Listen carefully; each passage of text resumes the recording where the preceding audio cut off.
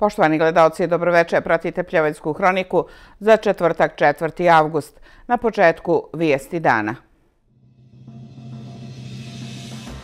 Komunalnoj policiji najteže je regulisati buku iz ugostiteljskih objekata. Počela isporuka subvencionisanog peleta za građane Pljevalja. Bivši radnici obezbiđenja koji su preko agencije bili angažovani u rudniku uglja Ade Pljevlja održali protest ispred upravne zgrade rudnika. Breznica zamućena ispod kamenog mosta. U okviru festivala tamburaške muzike u Zavičajnom muzeju održana promocija knjige Duša iz kofera Reufa Fekovića. Rudar se polako kompletira za duel sa iskrom. Sjutra sunčano do 30 stepeni. U prvih šest mjeseci ove godine komunalna policija izrekla je tri represivne mjere, ali je obavila više ukaza, a to je preventivna mjera. Ugostiteljski objekt je uglavnom poštuju radno vrijeme, ali problem buke je teško riješiti. Kao i u većini crnogorskih gradova u toku ljetnje sezone, rekao nam je načelnik komunalne policije. U prvih sedam mjeseci ove godine komunalna policija uradila je veliki broj komunalnih nadzora na terenu, ali nije izrekla mnogo represivnih mjera. Izrekli smo tri novčane kazne za fizička lica. Ti prekršaji su se odnosili na nepropisno parkiranje vozila na javnim zelenim površinama i dvije kazne za pravna lica.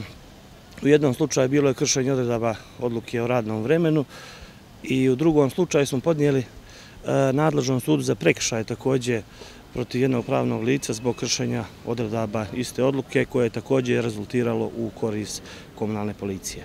Sve ovo ne znači da nije bilo mogućnosti za kaznenu politiku, jer komunalna policija prvo preventivno ukazom pokušava riješiti sporne slučajeve. Kažem ukaza to podrazumijeva da kad se primijeti neka manja nepravilnost koja se može otkloniti, dakle, E, E, koja se može otkloniti ili na licu mjesta ili se ostaviti neki rok e, subjektu nadzora koji ne može biti duži od 48 sati, dakle da se ta nepravilnost otkloni, e, komunalni policajac je dužan da prvo djeluje preventivno i u svim tim slučajima dakle, da izvrši kontrolni komunalni nadzor i ako je nepravilnost otklonjena, dakle, da ne izriče neku dalju represivnu mjeru. Evidentno je da je svijest građana na većem nivou kada govorimo o odnosu građana prema odlaganju komunalnog otpada.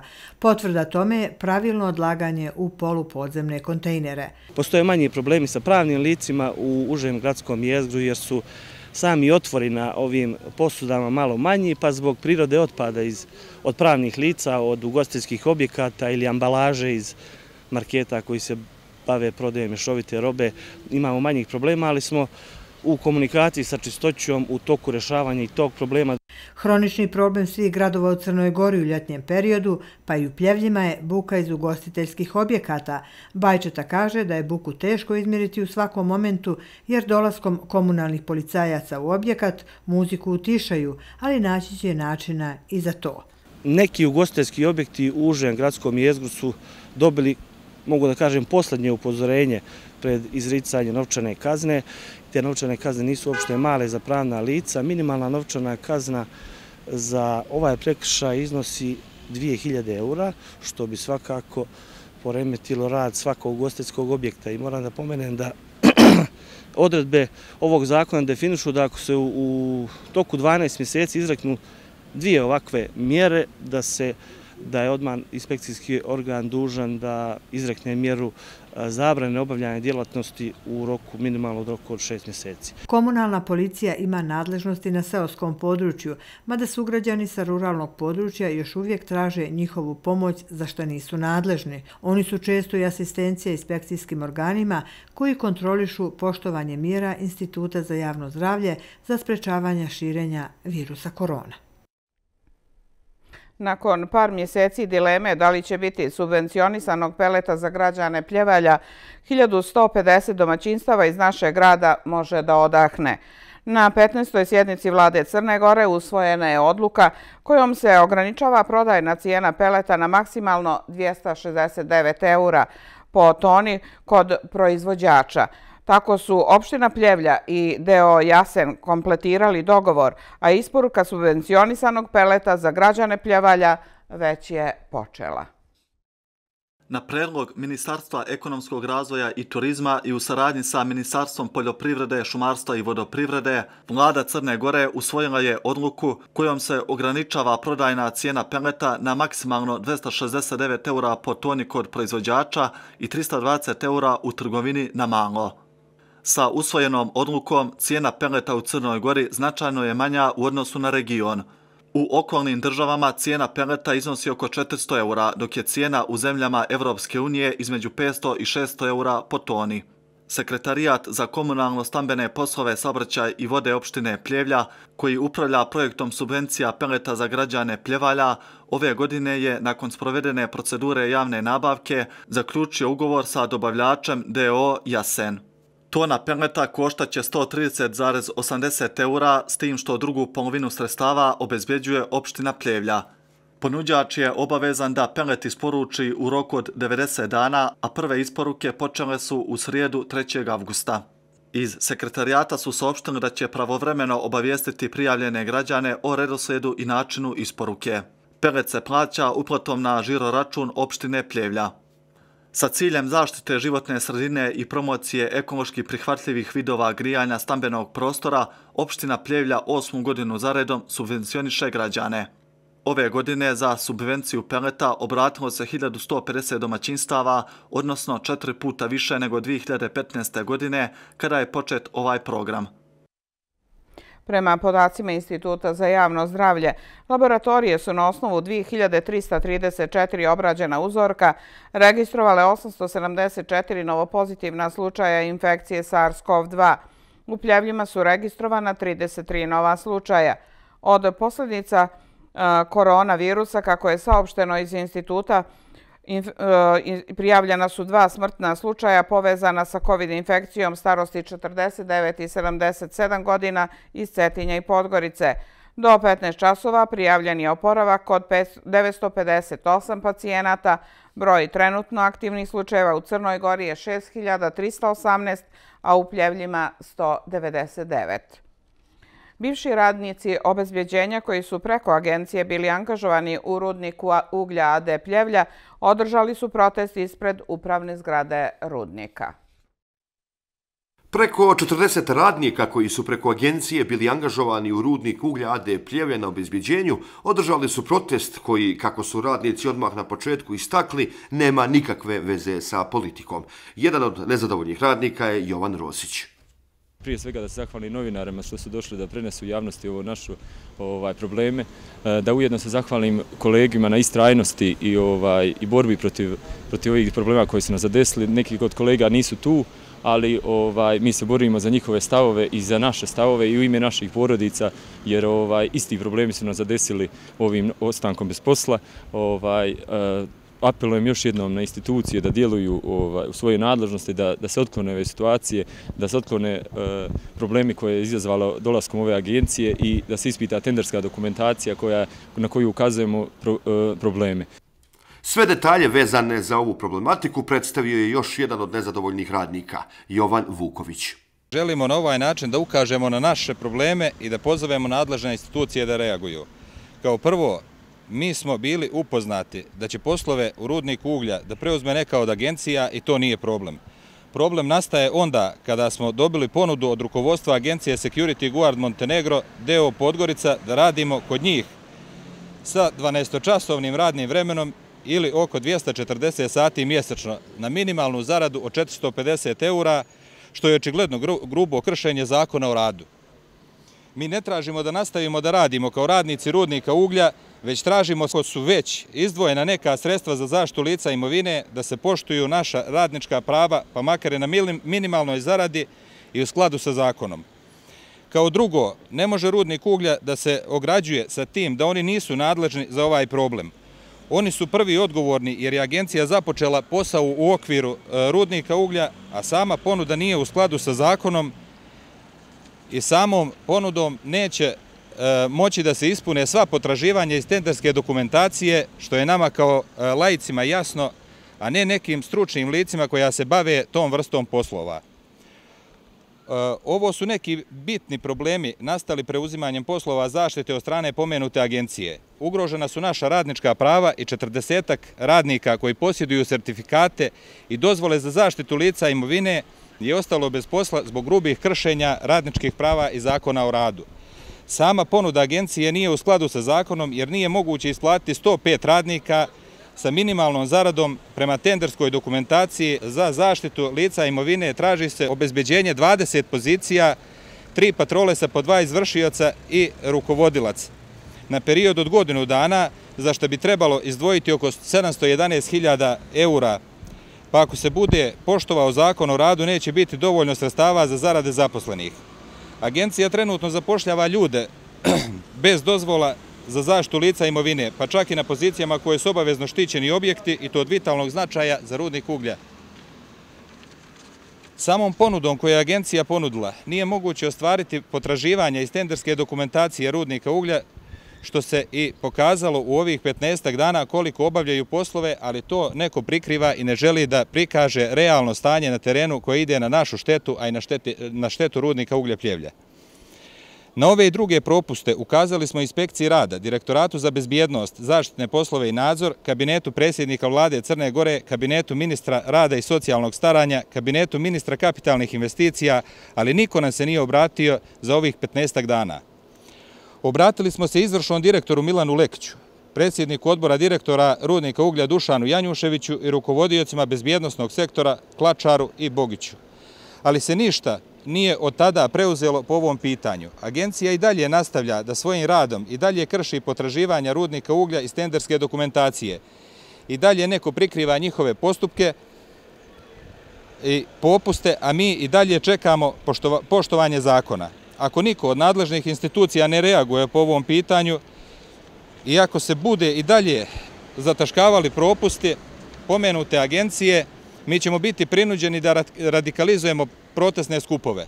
Ovakvim i sličnim odlukama vi dovodite u situaciju, u situaciju praktično 40 porodica na rub egzistencije, gdje će te iste porodice morati možda da napuste ovaj grad ili ovu državu da bi preživjeli. Ukoliko se stvari ne pomjere sa mrtve tačke, radnici koji su bili angažovani na obizbeđenju rudnik ugljade pljevlja će radikalizovati proteste.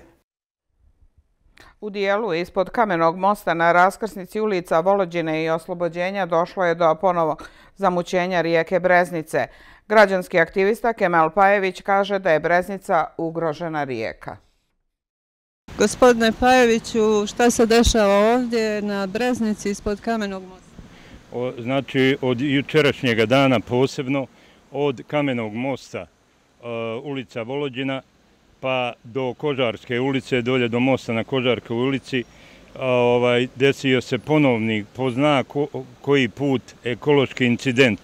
Breznica je ugrožena rijeka, pogotovo u ovom donjem dijelu, sve do ulivanja u rijeku Čehotinu.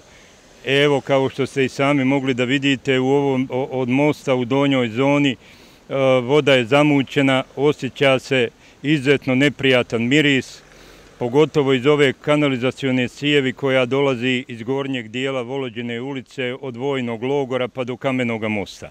Sa druge strane, iz ove cijevi isto ispod mosta gdje je atmosferska kanalizacija, od jučerašnjega dana po izjavama mještana, voda je potpuno žuta sa velikim primjesama zemlje.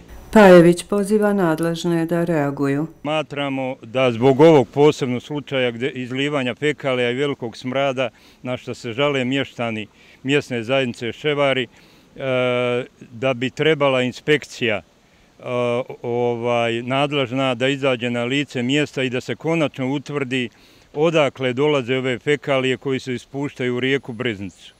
Znači, krajnje je vrijeme da reaguje i inspekcijske službe, da reaguju i da reaguju nadležni iz lokalne uprave u pljevljima.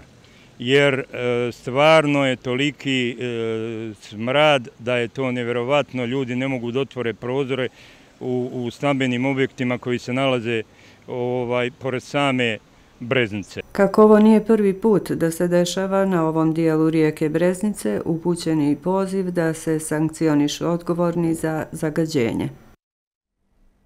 U okviru festivala tamburaške muzike u prostorijama Zavičajnog muzeja organizovana je promocija knjige poznatog bosanskog kompozitora i tekstopisca Reufa Fekovića pod nazivom Duša iz kofera. Duša iz kofera je knjiga mozaičkog karaktera, čine je spoj poetskih i proznih zapisa. Poezija je tematski svrstana u cijeline koje su naslovljene sa ljubavu, čast, pjesme pisane uz muziku, pjesme posvećene gradovima u kojima je autor živio, prevodi pjesama sa engleskog na bosanski i sa bosanskog na engleski. Pripremajući se za ovo književno veče i čitajući knjigu gospodine Reufa, pronašla sam jedan njegov citat koji bih večeras podijelila sa vama.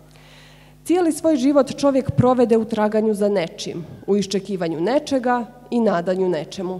Nečim, nečega i nečemu, važnim i prosvjetljenim, sa nurom Božijim i opet na kraju umre, a da ne pronađe i ne dočeka to nešto. Da tragedija bude potpuna, nikada ne otkrije da je to nešto on sam. Čovjek u čovjeku i u svemu onome što ga potiče da diše, u svemu što ga potiče na život. Dijelo sadrži i prozne tekstove. Duša iz kofera, Pljevlja u Sarajevu, Sevdalinko, pjesmo Najmilija, engleski je nastao i od bosanskog, jedan od najuzbudljivih dana u mom životu, grobar idiličnog života i nasljedstvo sudbine. Hvala vam na, na prijemu. E, ovo je, e, da ne kažem, meni značajno predstavljanje, budući da ova knjiga e, u sebi sadrži jednu lijepu priču Pljevlja pod naslovom Pljevlja u Sarajevu a to znači otprilike sadržanu cijelokupnu dušu pljevljansku. Ova knjiga je zbirka zbir ka poezije i proze.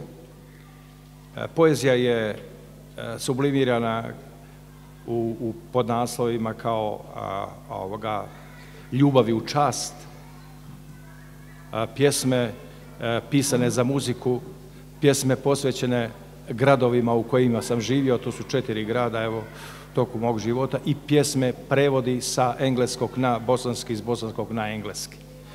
E, u, kao priče, odnosno tekstualni dio, svaka od njih ima jedan ovako jedan lijep sadržaj, čak ima i smiješnih stvari, ali neću vam sve previše otkrivati, da biste normalno uzeli knjigu da čitate. Knjigu otvara elegična pjesma, zatvoreni krug u životnom trajanju, začaranom krugu, a zatvara je priča nasljedstvo sudbine u formi oporuke, posvećene unuci sa snažnom poentom da su ljubav, dobrota i plemeniti ciljevi ključ naše sreće i smisao života.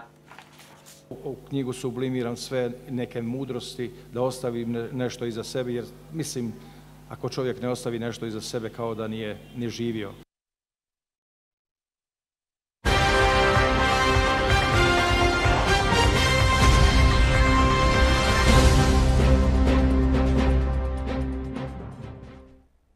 Nakon pobjede nad Mornarom, Rudar se sprema za utakmicu treće kola Meridian Bet prve Crnogorske futbalske lige protiv Iskre.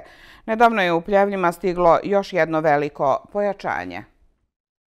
Marko Burzanović, momak koji je prošao sve mlađe reprezentativne selekcije Crne Gore, potpisao je ugovor sa Rudarom. 24-godišnji ofanzivni vezista, prošle sezone nosio je dres Zete, a tokom karijere bio je član Grblja, Jermenskog pjunika, Hrvatskog Intera iz Zaprešića, budućnosti, još jednom rudara i ekipe mladosti. Marko je primarna pozicija polušpica, može da pomogne i na poziciji centralnog veznog kao i krilnog igrača. Samo da podsjetimo, u Rudaru je odnedavno i brat Marka Burzanovića, Igor Burzanović, koji obavlja ulogu pomoćnog trenera. Igor Burzanović tokom karijere igrao je za Crvenu zvezdu na goju reprezentaciju Crne Gore i još mnogo klubova. Ono što je važno za ekipu Rudare da su četiri igrača koja su bila pozitivna na koronavirus, konačno dobila negativan test. Negativan test dobio je i trener Srđan Nikić, za koga će meč protiv ekipe Iskre biti veoma emotivan. Pobjeda protiv Mornara koja je dobijena uh, utakmica srcem za laganje svih igrača i Rudar je pokazao zaista da ste usadili taj borbeni duh u ekipu.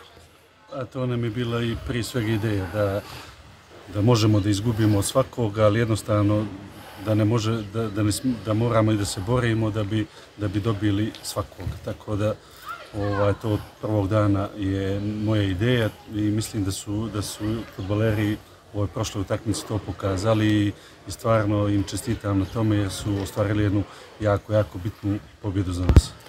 E, sljedeće kolo veoma emotivno za vas bih rekao. Pa dobro, ja sam u Danilogradu proveo šest godina, učestvovao sam u nekim najvećim uspjesima kluba, ovaj, ostavio tamo i dosta prijatelja, čini mi se i mislim da, da u Danilograd ću se uvijek rado i vratiti, ali jednostavno ovaj, što se tiče posla i utakmice, mislim da, da neće biti emocija, da, da moramo da, da, izađemo tamo, da se borimo, da, da pokažemo da, da ova pobjeda nije slučajna i da pokušavamo da napravimo pozitivan rezultat u Danilogradu. E, ko se vratio ekipu pored vas? Pa, mislim da, da su svi da su svi sad u, u trenažnom procesu, jedino da vidimo što je sa Gaševićem, on osjeća isto neke simptome, ali jednostavno vidjeli ste i prošlu utakmicu koga nema, bez njega se i mora i može, tako da imamo imamo jedno 15-16 igrača koji mogu da odgovore za aktivima prve lige i ovaj, kogod izađe, mislim da će dati sve o sebe i da ćemo probati da napravimo dobar rezultat. Susret između Iskre i Rudara zakazan je za 21 sat u subotu u Danilovgradu na stadionu Braće Velašević.